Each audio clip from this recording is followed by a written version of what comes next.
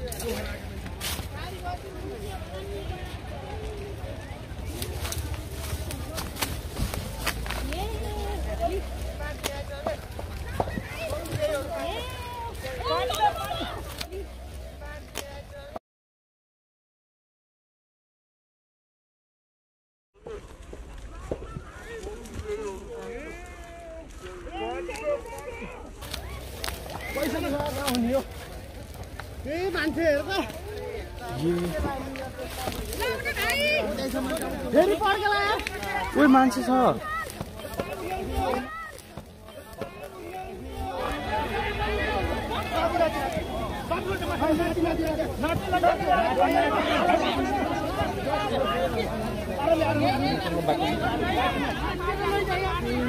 पानी हाल्ने पानी पानी पानी।